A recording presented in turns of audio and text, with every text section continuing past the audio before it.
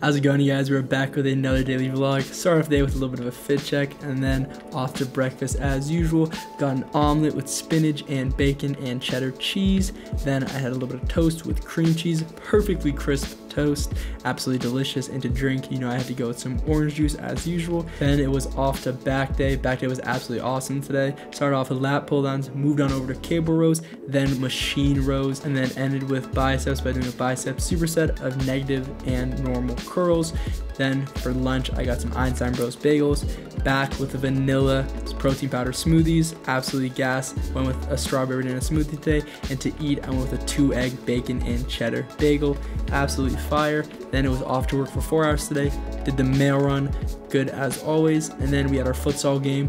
It was 4-4, and then we got disqualified. Unlucky call, but it's all good. And that was my end of the day, guys. Have a nice day.